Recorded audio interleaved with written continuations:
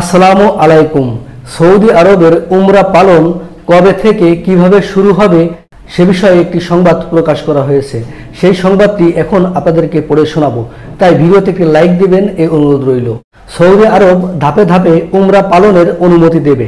গতকাল মঙ্গলবার সৌদি আরবের আরব নিউজ পত্রিকার এক প্রতিবেদনের মাধ্যমে এ তথ্য জানানো হয়েছে।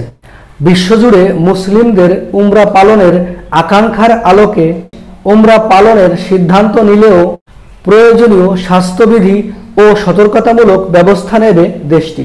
সৌদি আরবের স্বরাষ্ট্র মন্ত্রণালয়ের এক বিবৃতিতে জানানো হয়, প্রথম ধাপে আগামী চারই অক্টোবর থেকে উমরা পালন শুরু হবে। প্রথমে সৌদি আরবের নাগরিক এবং সৌদি আরবে থাকা বিভিন্ন দেশের নাগরিক বা মুসলিমরা উমরা পালনের অনুমতি পাবে। এ ধাপে প্রায় প্রত্যেক দিন ছয় হাজার মুসলিমকে উমরা পালনের সুযোগ দেওয়া হবে। এছাড়াও আঠারোই অক্টোবর থেকে দ্বিতীয় ধাপের উমরা পালনের সুযোগ দেওয়া হবে। তাই দ্বিতীয় ধাপে প্রত্যেক দিন প্রায় পনেরো হাজার মুসলিম উমরা পালনের অনুমতি পাবে।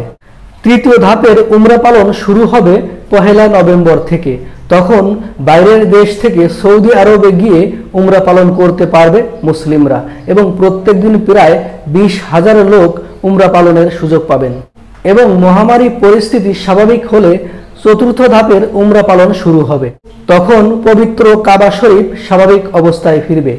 ভিউয়ার্স, ভিডিওটি ভালো লাগলে ভিডিওতে একটি লাইক দিবেন এবং এখনও যারা আমার চ্যানেলটিকে সাবস্ক্রাইব করেন নাই, চ্যানেলটিকে সাবস্ক্রাইব করে সাথে থাকবেন। সর্বশেষ সকলের সুস্থতা কামনা করে শেষ করছি। আসসালামু আলাইকুম।